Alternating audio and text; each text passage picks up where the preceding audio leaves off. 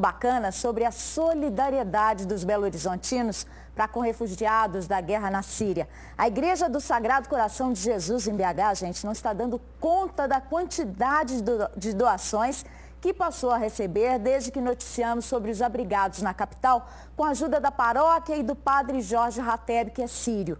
Olha só o movimento de gente nessa quinta, levando de tudo para ajudar quem teve de deixar sua terra em busca de paz e vida nova. As doações não paravam de chegar na paróquia Sagrado Coração de Jesus, no bairro Funcionários. A campanha de donativos para os refugiados da Síria começou de forma espontânea por meio de mensagens de WhatsApp foi o suficiente para a solidariedade se espalhar por toda Belo Horizonte e região metropolitana. Vim doar, juntei logo as minhas coisas e cheguei, já estava aqui esse tumulto, eu já comecei a trabalhar na, como voluntária. Eu acho que todo mundo pode fazer algum pouquinho, né, para ajudar. E tinha de tudo. Roupas, calçados, alimentos, brinquedos e até fraldas descartáveis para as famílias com bebês. Ao todo, a paróquia já recebeu 79 refugiados do país árabe. Na hora de ajudar, não há religiões. O que prevalece é o amor. A maior religião é amar a Deus sobre todas as coisas, mas é o teu próximo como a ti mesmo. Então o brasileiro é um povo que ama. E nós, cristãos, estamos aqui para receber os sírios os haitianos com amor. A doação não foi só de materiais. Houve também a entrega de tempo e trabalho para organizar e distribuir os donativos.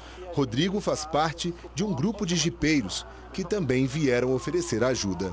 Num caso desse que chega muito donativo, não tem como fazer a distribuição, os jipes ficam à disposição para fazer essa distribuição e hoje já foram mais de 15 jipes, hoje já fizemos mais de 30 viagens e vamos aí até onde puder.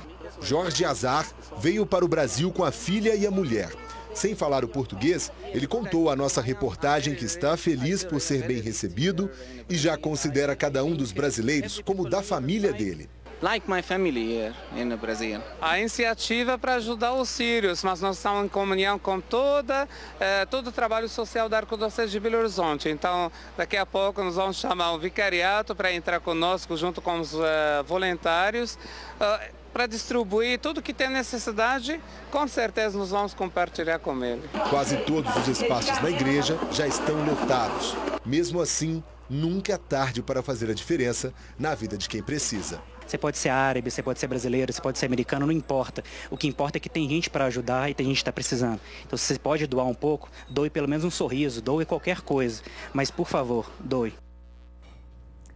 Pois é, agora como a igreja não tem mais condições de receber essas doações por falta de espaço, o pedido da paróquia é que elas passem a ser entregues no vicariato que fica na rua Além Paraíba 208, na Lagoinha, ao lado da igreja Nossa Senhora da Conceição.